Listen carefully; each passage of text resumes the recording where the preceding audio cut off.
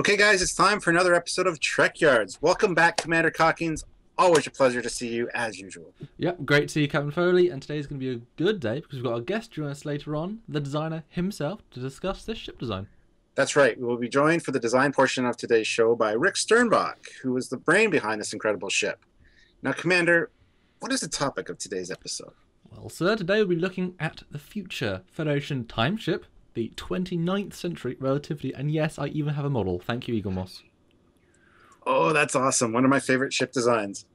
You I'm excited say to learn that. more That's about her. I don't always say that. Mm, you say it quite a bit. But I gotta say that after writing this script, this episode can be turned into our very first Trekyards drinking game episode. So, go get your favorite drink, such as Saurian brandy, Romulan ale, Klingon blood wine, the green stuff that Guinan keeps under the bar, or something non-alcoholic for anyone underage, of course. Synth yeah. And I'd like you all to take a swig every time we say the word temporal. So, without any further delay, let's get right into it. The USS Relativity, or NCV 464439 G, is the 29th century Federation Wells class starship operated by Starfleet. The name Wells class, of course, refers to the science fiction author H.G. Wells, who wrote The Time Machine. The ship was under the command of Captain Braxton, with the ship itself being commissioned by the University of Copernicus.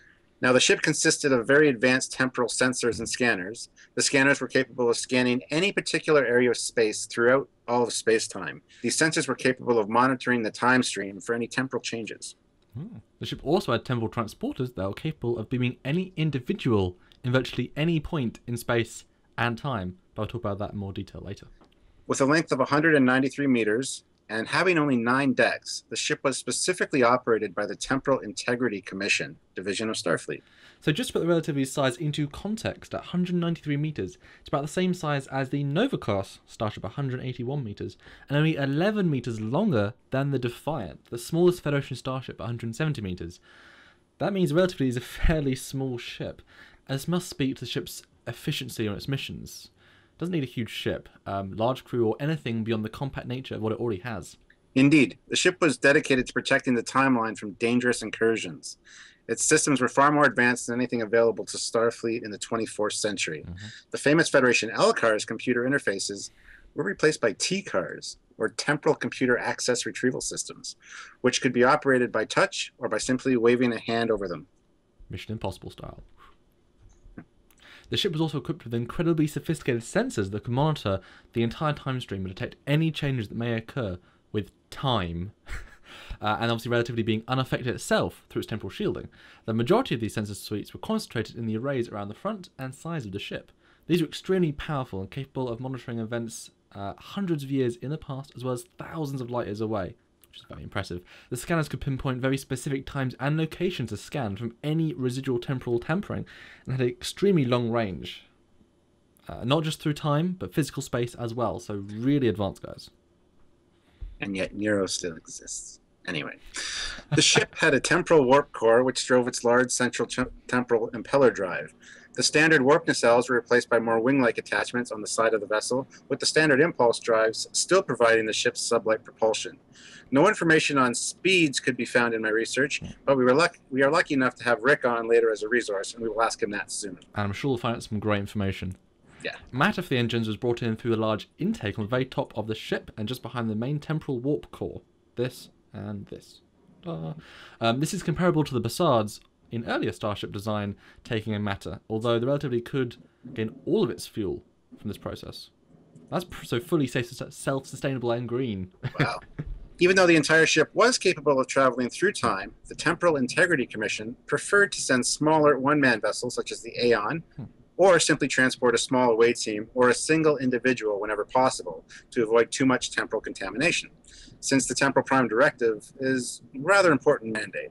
And also, this is the uh, NCVG, so they- they've they've learned a lot of lessons by the G, unless they get blown up every year. But I mean, that would be unfortunate. I don't know. Anyway, the ship's hull was specifically designed and built to travel through time, and as such had carefully crafted temporal geometry and contours. So that's right, guys. This is what a true time ship looks like. Sexy. That's rad, man. That's rad. In order to make the journey through time, the ship had to generate a very specific temporal field.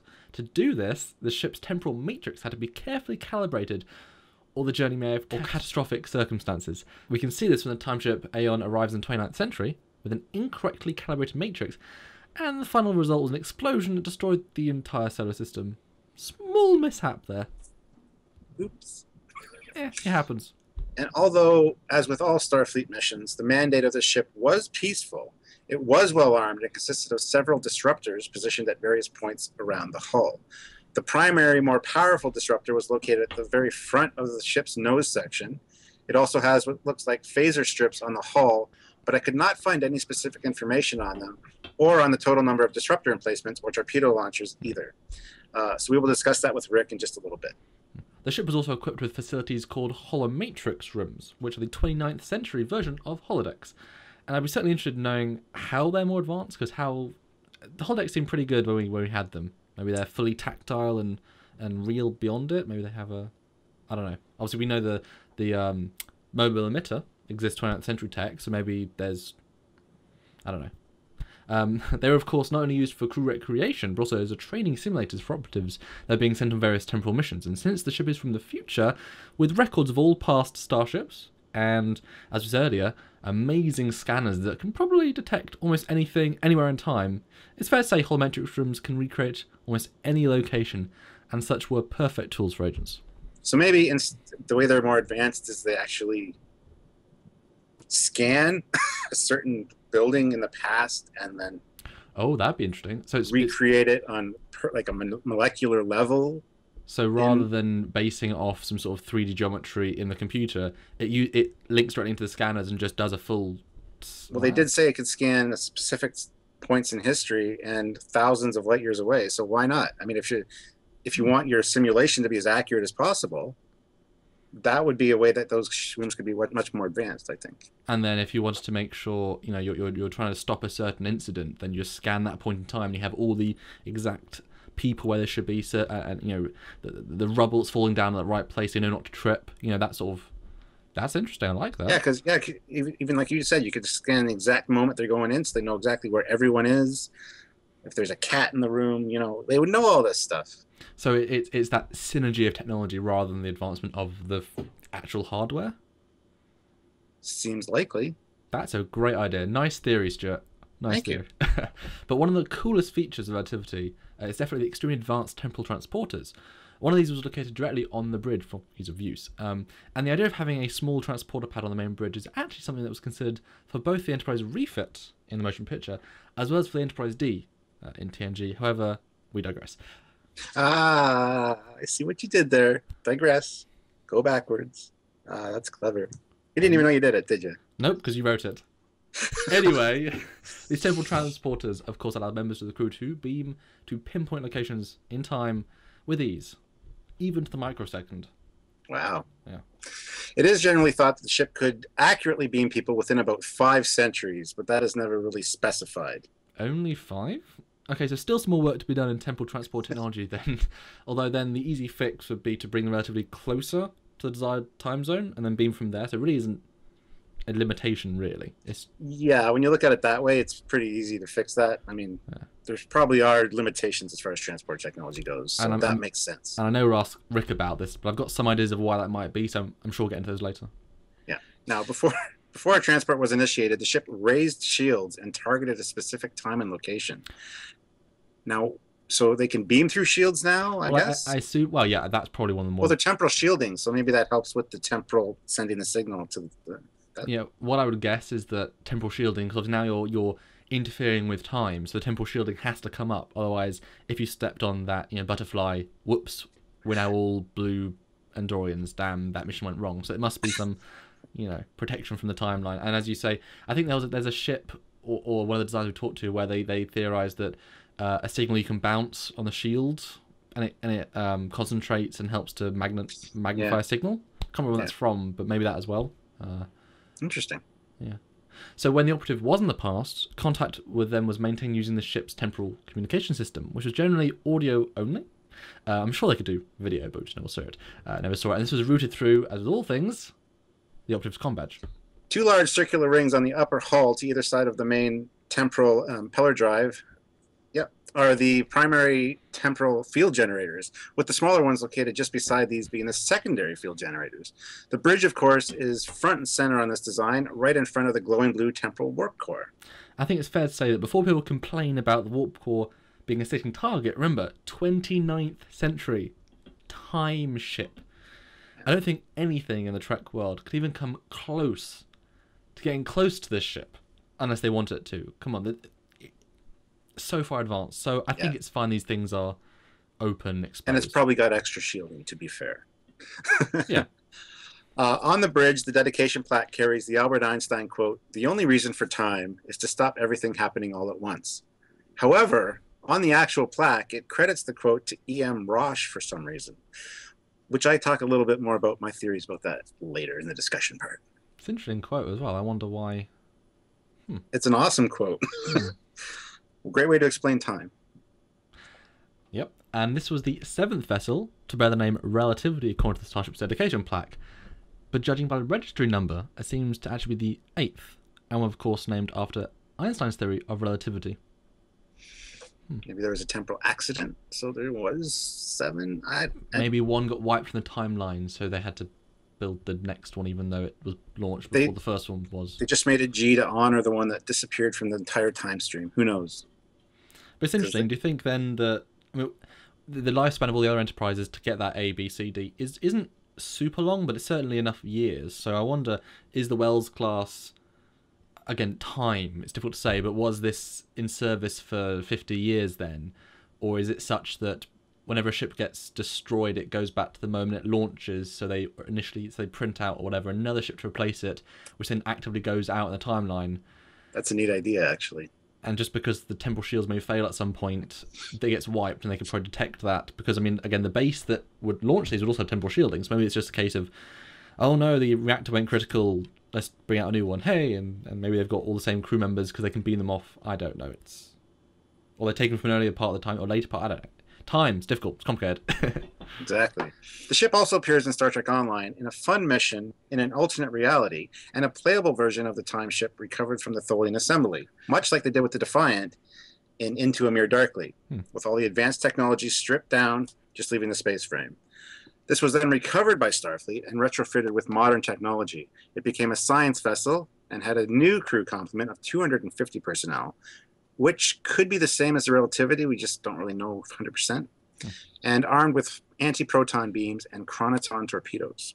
I've I've played the mission where you we get to see it, and I it was a uh, it was one of the times where I came back into the game after a long time. I didn't even know the mission existed. Played it, and it's got one specific hook, and then suddenly, boom! Relativity, I'm like, whoa, that's awesome. Uh, so that was a lot of fun. haven't played the actual ship as a as a playable ca- playable ship though. Uh, have you managed to play them? No, I haven't. I've played the mission, but I haven't played the ship. Yeah, I like the idea of it being stripped away, although it seems odd to me. And bloody Tholians, seriously. We t- mentioned that in our episode about them. They Bloody always have some kind of weird dimensional or time thing going on. And they always get the upper hand as well. 24th century to 22nd century, and then 29th century. They are amazing. We totally underestimate these guys. Seriously. They're clever little crystals, aren't they? The only piece of advanced technology remaining on board was a Tipler cylinder, which, when installed aboard the Wells class, and this was done in Star Trek Online, allowed them to perform a temporal backstep, which had the ship rewind time for around 13 seconds. This ability also used the beryllium uh, in the Tipler cylinder, just as we saw beryllium core in Galaxy Quest power the NSEA Protector, which also had the ability to reverse time by 13 seconds thanks to the Omega 13 device. But anyway, Paying homage to Galaxy Quest. I absolutely love it. so. Very nice though. Right. Well, I'm excited because now it's Mm. time to speak with the designer himself and get some of those little questions we had that popped up answered. And there's a lot for Hopefully. this ship because it's a it's a pretty interesting ship. So please welcome back Rick Sternbach to the show, everybody. Always a pleasure to have you join us, Rick. Hey guys, good to see you again. Yeah, welcome, Rick. As you know, we're doing the relativity. Can't stop playing with the, the ship. So, Rick, in regards to relativity, um, in doing Yeah. our research of the ship, there are a lot of specifics missing. So, we'd like to talk you know, the ship with you through and get you to maybe answer a couple of questions we had about the design. But first, Sure. um, when did you hear uh, that she wanted to do a 29th century time ship? And what was your first thoughts on her? Um, how to make something so far in the future? Well, I you know I think the uh, the the little time ship Aeon preceded the relativity. Okay, because we got more into the temporal ranger guys. Uh, you know, in in, uh, in the episode that had the relativity. So when I approached the styling of it, it was uh, you know I used the Aeon as a uh, as a starting point. Okay, uh, and since the relativity was supposed to be a much bigger mothership time ship from you know from around the same era. Um, you know, I borrowed a lot of the same sort of sleek uh, elements. So took the you know the the familiar, let's say you know the nacelle caps, the Bussard collectors. They usually glow like a sort of an orangey pinky color. Uh, so for the Aeon, I moved those to the tail uh, and turned them, you know, uh, turned them flat. So at least there would be some kind of a little uh, recognizable Hmm. color or shape or something that would say, okay, oh, this is Starfleet and not, you know, Romulan or something. So when it came time to do the uh, the relativity, it was okay. It was like, okay, take the stylistic elements of the Aeon and just multiply them make it a sleeker, more slippery looking ship than anything Starfleet had in the 24th century. Uh, and, and, and that's pretty much how, uh, you know, how I approached it. We did a few uh, uh passes on, you know, getting sketches approved. You know, then I launched into uh, some, uh, some blueprint drawings. I gotta say, I can definitely see that. The 29th century, the designer says, "Okay, crew, I want a slippery design." Mm. That is that's the that's what we're going for, guys, and that do, actually does make a little bit of sense. Yeah, absolutely. Yeah, it's you know it's got a lot more curves, uh, and you can tell that it's okay. It's not from around Voyager's Hmm. time. It's somewhere else. You know. Right, Seeing the final result, both Samuel and myself really loved this design. It's a great looking ship. Um, now, what were your inspirations besides the Aeon that drove it? It, I- it has more of kind of like a stealth fighter feel. Hmm. Wondering if that was some kind of influence there. I get little stylistic cues from lots of different places. Uh, you know, some of the uh, some of the concept aircraft uh, that you know Mhm. people think were coming out of Area 51, uh, or some of the uh, you know some of the contractor hangars in uh, in the desert somewhere. A lot of the the very high Mach number uh, concept aircraft, you know, have, have been really cool looking. Okay, and it's and it's hard not to think about those lines, those Mm. those streamlined surfaces when designing a sleek starship. Even if the thing flies in the vacuum of space, we're talking science fiction. And you know, it's got to it, it's got to look like it works, and it it's got to look cool. Um, so Rick, did you have any input on the internal bridge set being used, um, or even how the 20th, 29th century TCARS um, would look? Uh, any thoughts on the aesthetic, or even the new uniform design? you know what the set designers came up with uh, uh, for the relativity bridge i thought was you know it, it was an extension of of starfleet all i really could do was kind of look over their shoulder and say oh that's really cool like a lot of these these uh, these starships it was a real team effort uh, you know some of us are handling the the outside some of us are handling the insides. We we we get to see how the thing develops over you know over a few days. So i, I thought all of the all of the styling for the 29th century you know came together really nicely. Okay, one thing that is obvious in the design is that there's no external warp engines with fairly visible Bussard collectors or blue glowing warp coils as we see in previous Federation starships, even up to the 26th century Enterprise J. Uh, this ship instead has a temporal impeller drive. So, what are your thoughts on the ship in terms of propulsion? Are the actual warp nacelles integrated into the wings somehow? And can it still achieve warp, or does it use the temporal impeller drive to exclus- exclusively to travel through time and space? Uh, do you believe the 29th century Starfleet is kind of done away with nacelles as we know them? I put some of the Bussard type technology. Uh, you know, I, I rotated the stuff 90 degrees and, uh, you know, everything is integrated into the wings. I'm sure that there's some kind of, you know, fantastic, cool power source inside the main. Temporal warp core, Rick. Huh? Temporal warp core. A temporal warp core. Yeah. Uh, yeah. Okay, if Or you say so. core. Yeah. you know, I'm sure I'm sure it would have you know warp slash FTL, um, you know, to get around. Uh, you know, they they they probably can fly just about anywhere they want to, you know, and forwards and backwards in time. Um, And do you think that's all part of the temporal impeller drive, or do you think they need a separate warp well, I'm sure, drive? sure. You know, if you have the, you know, I I can probably say without being uh, too far wrong, if you have the temporal impeller drive, you know, warp drive is like nothing. Yeah, exactly. You know, it's easy. It comes along for the ride. You know. Now, do you think that all future Starfleet ships are, have warp Hmm. or time capabilities, or just Hmm. the specialized? Oh, I think the the, the temporal, uh, you know, the the the the Office of Temporal Affairs or Mhm. whatever they called it. Uh, you know, I'm sure those are the guys charged with, you know, fixing the timeline. I think, uh, you know, probably most other Starfleet ships are are just, you know, warp and impulse.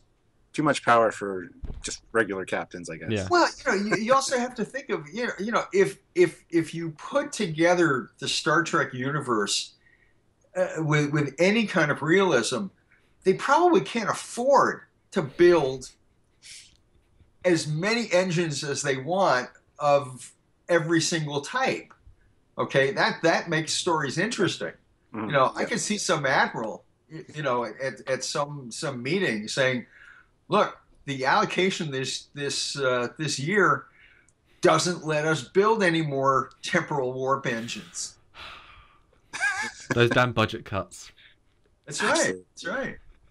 Oh, that that's cool. Um, so do you think there'll be a, now a warp impeller drive, or do you think it's do you think the warp drive as we know it is pretty much the FTL of choice, even up until maybe the 29th century? Well, I'm you know I I'm I'm willing to bet that that there are different ways of mixing matter and antimatter together. Hmm. Um, you know, maybe you could get into a dark matter engine, and uh, there are all sorts of things that are being discovered now. Hmm. Okay, that might lead to you know higher energy output. Um, okay, matter and antimatter that right now seems to be like the top of of a reaction that you can get from the stuff that we have on hand or or that we can make in, in the Trek universe. Yeah, you know we know matter and antimatter. Uh, if we throw new things in, like okay, every, you know, some of the scripts talked about slipstream drive and quantum something drive and Transwarp. quantum worm wormhole thingies uh, to me, they're all kind of variations on a theme. Can you get into crazier stuff? Sure. Why not? Chronoton drive. There you go. Chronoton particles. Why not? But that's time. Oh, that, that is the shit. isn't it? Exactly. It's time. Yeah. Yeah, but don't mix chronotons with dark matter because it gets very bad. Sounds good. So one thing that actually stands out about this ship, and I I changed my perspective when I was writing this when we were doing this episode, um, is the size of the ship. When you see it on screen, it feels like a pretty decent sized ship, medium, not huge, but but pretty decent. But at a size of 193 meters, compared to other ships, it's far smaller than I thought. So talk us through why you made it the size you did, and what that may mean for the future of Federation designs, or at least time ships.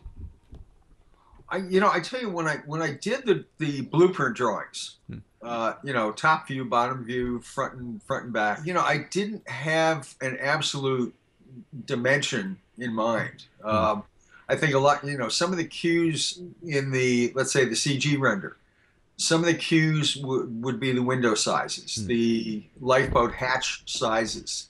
I would have to go like I say, d- dig through the box to find the, the drawings. Um, a lot of times, you know, in episodic television, um, you know, we didn't have time to to measure everything and to say, okay, in universe, this is how big this ship is. And we especially didn't have time to do that with a lot of the alien ships. Hmm. Okay, you you got to see them for like five minutes. I, I think in the, sh- in the episode you get to see for three shots relativity. I mean, Yeah. it's it's that's Yeah. it.